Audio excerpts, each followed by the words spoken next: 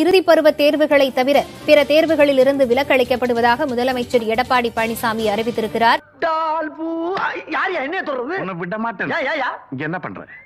தமிழக அரசு அறிவித்த அரியஸ் தேர்வு முடிவை அகில இந்திய தொழில்நுட்ப கல்விக் கழகம் ஏற்க மறுப்பு என்ற தகவல் வெளியாகியிருக்கிறது.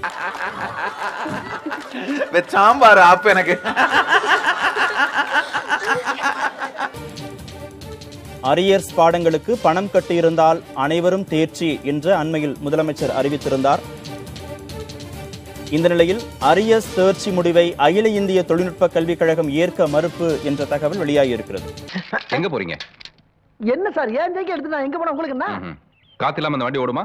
காத்து இல்லாம எந்த வாகனம் போகாது பிரதர் அப்ப இந்த வண்டி ஓடுறது உள்ள இருக்க என் காத்துனால இல்லையா? டபுள் இட்லி அப்ப இந்த வண்டி யாருக்கு சொந்தம்? அண்ணா பல்கலைக்கழகம் என்பது ஏஐசிடி என்ற அகில இந்திய தொழில்நுட்ப கழகத்தின் கீழ் செயல்படக்கூடிய ஒரு பல்கலைக்கழகம்.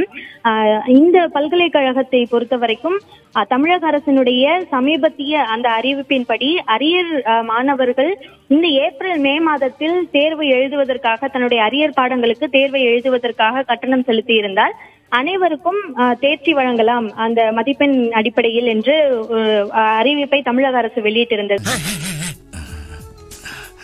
அப்படின்னா அதுக்கு என்னங்க?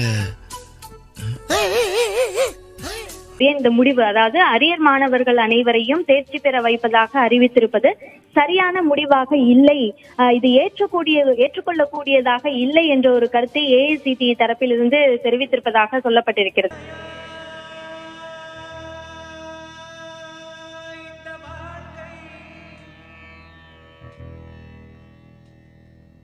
விடை தருவார்